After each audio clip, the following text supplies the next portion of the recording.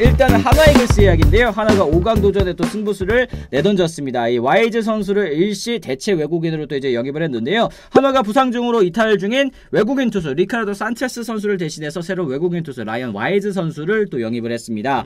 어, 산체스 선수가 두산전 이후에 팔꿈치에 불편함을 느꼈고요. 당분간 경기에 또 나서지 못할 것으로 보이면서 팔꿈치 통증으로 부상자 명단에 오른 산체스의 대체 외국인 선수 라이언 와이스를 영입했다. 계약 기간 6주며 1만 2천 달러, 우리나라 돈으로 1,650만 원은, 원입니다. 연봉 4만 8천 달러, 약 6,600만 원, 인센티브 4만 달러 등 총액 10만 달러, 1억 3,800만 원의 이제 라이언 와이스 선수 영입을 확정을 지었는데 일단은 와이스 선수 얘기하기 직전에 다른 분들께서 이 다른 팀 팬 여러분들께서 이 한화의 빠른 일 처리에 대해 굉장히 또 놀라셨다라는 점이 있겠습니다. 어, 일단은 와이스 뭐. 선수 금방 데려왔잖아요. 어, 상당히 금방 데려왔죠, 음, 진짜로. 음, 음. 어, 조금의 behind 아닌 behind는 한화가 일단 단기 대체 선수를 데려온 거지 않습니까? 네네. 지금 올해부터 이제 단기 대체 외인을 활용할 수가 있으니까 그렇죠. 미리 좀 알아본 게 있죠. 음. 왜냐하면 그 전에 어떤 페냐 선수 좀 구위 떨어지거나 뭐 이런 상황이 있을. 때 혹시 모르니까 음. 항상 이 list up을 합니다 구단들은.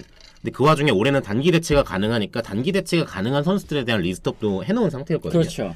근데 이제 원투를 이제 준비를 해놨었는데 바리아 선수가 나온 거예요. 음. 바리아 선수는 사실 단기 대체로 데려올 그 체급의 선수는 아니라고 한화에선 판단했고 그렇죠. 그렇기 때문에 그때 마침 또 페냐 선수가 조금 부진했고. 그 구진이 부진한 데다 구위도 떨어지고 이러니까 그때는 페, 그 페냐는 아예 교체를 하고 바리아를 음. 데려오고 음. 그다음에 요 원투에 있던 단기 대체 활용 선수를 이제 영입을 하려고 준비를 해놓고 있었는데 언제 부상 선수가 나올지는 사실 모르는, 모르는. 거죠, 그죠? 근데 운명인지 산체스 선수가 또 팔꿈치 이슈가 나온 거예요. 그래요, 그래요. 그러니까 원투한테 접근을 했죠. 음. 근데 1번 선수는 이제 메이저리그 구단에 마이너 계약을 했고 네. 조금 이제 2순위로 있던 와이스 선수가 최종적으로 한화 유니폼을 입게 된 거죠. 아 네, 그래요 네, 그래요 네. 말씀하신 것처럼 저도 이제 아는 분께서 이제 한화의 외국인 선수 또 구하러 한 한 달 정도 이렇게 나가가지고 정말 고생 많이 어, 했더라고요 맞아요. 이제 네, 미, 네. 리 이렇게 list up 하는 거 뭐 다른 구단에서도 음. 하고 있지만 음. 이렇게 좀 빠르게 이 발빠르게 계약을 할 수 있었던 거는 이제 또 물 밑에서 계속 그렇죠. 또 이렇게 노력하고 있는 어, 프런트 직원들이 아, 있다라는 거 엄청 많이 했대. 그니까요. 네, 지금 이제 네. 댓글창에서도 역시 한화의 일처리 그리고 손혁단장에 대한 일처리 빠른 편이 뭐 이런 까지 얘기가 해주시는데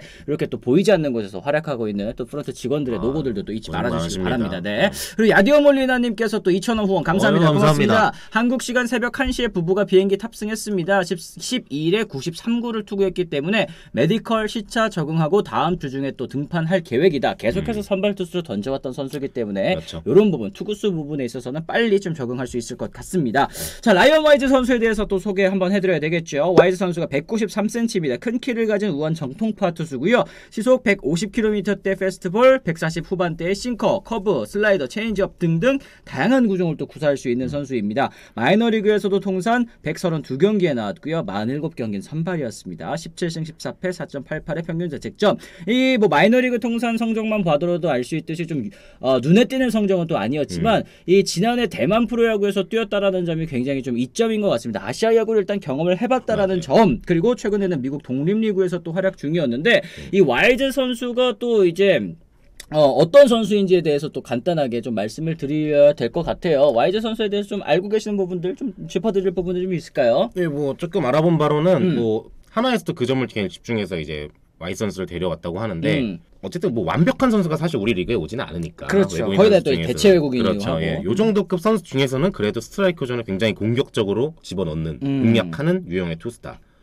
게다가 어, 직구가 지금 요 정도 나온다고 보는데 제가 알기로는 직구보다는 투심을 많이 활용하는 어, 유형의 투수라고 해요. 네네네. 땅볼 유도 싱커형 유, 유형의 투수인데 그게 거의 뭐 한 94, 5마일 정도까지 나오는 것 같고 음. 뭐 본인이 여기 또 특이한 선수거든요. 그 본인이 유튜브를 해요. 어, 네, 맞아요. 본인 라이브 피칭한 거를 영상으로 올려놓은 게 있더라고 두달 전에. 오. 근데 그걸 보니까 뭐 97마일까지도 나와요.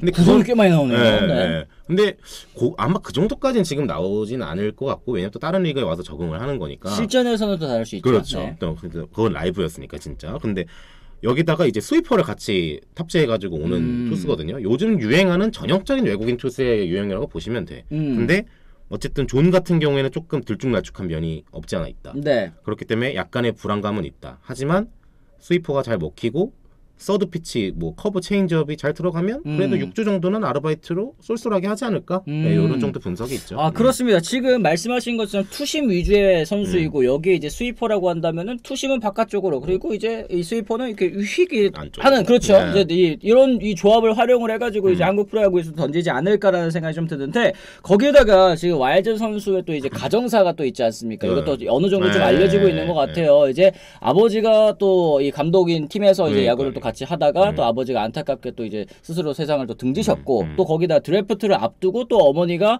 갑작스럽게 또 심장마비로 돌아가시면서 이제 어린 나이에 이제 부모님을 잃었지만 거기에서도 좌절하지 않고 포기하지 않고 계속해서 이제 야구를 이어나가고 있다라는 거 너무너무 대단하고 긍정적인 사고 방식을 또 가지고 있는 선수라는 거 이 여러 가지 또 소개 글이라든지 말씀하신 이 유튜브를 보면 좀 알 수가 있더라고요. 대단하죠. 아 사실. 진짜 대단합니다. 네. 그리고 이제 거기다가 아까 이제 댓글창에서도 많이 말씀을 해주셨는데 와이스 선수의 또 티셔츠 굿즈 구매도 한다. 이제 본인의 그런 이제 음. 어, 캐릭터를 어, 또 활용을 해가지고 이렇게 또 음. 굿즈도 만들어가지고 음. 파는 게 아, 정말 이 야구를 대하는 이 자세 자체도 또 진심이지만 야구 이후에 또 제2의 인생에 대해서도 진지하게 고민하고 있는 그런 선수구나. 거기다 인스타그램 스토리 같은 것도 보니까 이제 하나이글스와 계약했다고 또 이제 축하 파티 하잖아요. 어. 돼, 죄다 이제 주황색으로 이렇게 꾸며놓고 너무너무 좋아하는 게, 아, 이 선수의 참, 어, 야구를 떠나서 인생을 대하는 방식 자체가 굉장히 성숙한 선수구나라는 생각을 좀 했어요. 그냥 우리가 일반적으로 직장 생활하는 분들 도 다 아시겠지만 음, 우리 거 하나 하기도 벅차거든요. 맞아요, 네. 근데 야구도 하면서 또 여러 가지 또 일에 또 열심히 열심히 하는 걸 보면 음. 또 여러 가지 또 어렸을 때 또 그런 것도 있는데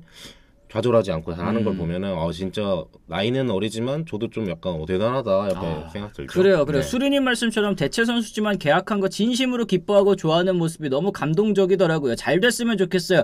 이런 선수들 야구까지 잘해주면 너무 좋지 않겠습니까? 얼마나 좋겠습니까? 정말 간절한 게 음. 만약에 하나 팬들 입장이라면 잘 돼서 6주 뒤에 야 누구 야 이거 누구로 가야 되냐 이런 엄청난 행복한 고민을 하셨으면 좋겠어요. 그러게 그러게. 아 이번 네. 그 만에 하나 또 이제 음. 뭐 연장이 안 된다고 하더라도 아 이번에는 가지만 음, 우리가 음. 나중에 너 제일 먼저 불러줄게 맞아요. 약간 이런 네. 느낌으로 가도 너무 너무 또 좋을 것 같습니다 일단은 어 여러분들께서도 지금 응원 많이 해주고 계세요 선수가 사고 칠 일은 일단 없어 보인다 맥콜러버님 또 이렇게 얘기해 주셨는데 어쨌든 어 이 와이스 선수 또 기대를 좀 한번 해보도록 음. 하겠습니다 일단은 한화 이글스가 외국인 투수의 변화 정말 빠르게 또 이제 가져갔죠 이제 바리아 선수로 이제 페냐 선수를 또 고치, 교체를 했는데 바리아 선수가 시즌 3경기에서 2승 무패 1.69의 평균 자책점입니다. 그리고 최근 16일 등판이 진짜 압권이었어요. 아, 이 어. 선수 왜 메이저리그에서 선발 투수로 뛰어있는지 알 수 있는 그런 피칭 내용이었죠. SSG전에서 6이닝 8, 어, 8K 무실점으로 또 승리를 거뒀는데 어, 이날 경기 진짜 좋더라고요. 이제 뭐 항상 숙제였던 게 투피치인데 음. 그 슬라이더가 어쨌든 지금 짧게 꺾이는 거랑 길게 꺾이는 거 두 개가 있는 것 같거든요. 그렇죠.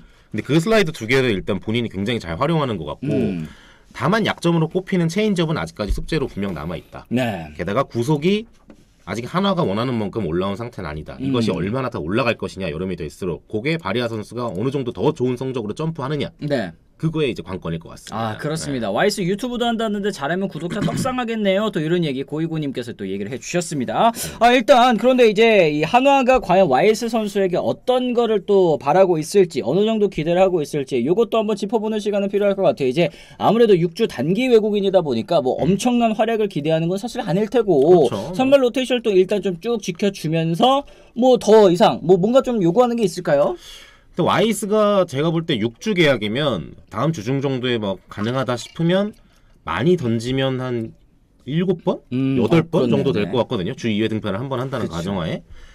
일단 그 정도는 다 돌아줘야지. 음. 그게 제일 첫 번째죠. 부상 로테이션을 없이. 부상 음. 없이 다 돌아주는 게 첫 번째고 만약에 조금 더 욕심을 낸다 싶으면 이닝을 한 평균 5.5 정도, 어. 네, 그 정도 가져가주면 얼마나 좋겠느냐. 아. 6까진 바라지도 않는다. 네. 음, 그러니까 일단은 로테이션 정상적으로 소화하고 이닝을 또 선발 투수의 이닝을 먹어주기를 바라는 거죠. 이거 사실은 모든 선발 투수에게 바라는 기본적인 요구인 것 같아요. 그렇죠. 근데 그만큼 이제 대체 외국인 선수이기 음. 때문에 일단은 크게 기대하고 있지는 않지만 음. 그 정도의 기대 이상은 또 와이스 선수가 반드시 좀 해주기를 바라도록 하겠습니다. 승리까진 바라지도 않는다. 아하.